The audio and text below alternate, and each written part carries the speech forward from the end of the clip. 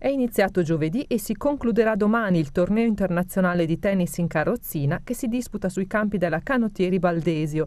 Numerosi e di valore gli atleti presenti, portacolori di diverse nazioni, pronti a sfidarsi per conquistare la vittoria del future maschile. Molti volti noti e i campioni che hanno offerto spettacolo, suscitato emozioni e generato entusiasmo tra i presenti.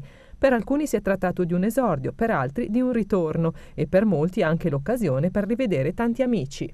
Domenica mattina sicuramente alle ore 9 circa inizierà la finale di singolo e in bocca al lupo ai vincitori e chiaramente vedremo, vi aspettiamo tutti numerosi. Sarà sicuramente una cosa da vedere, uno spettacolo incredibile per chi non ha mai visto il tennis in carrozzina.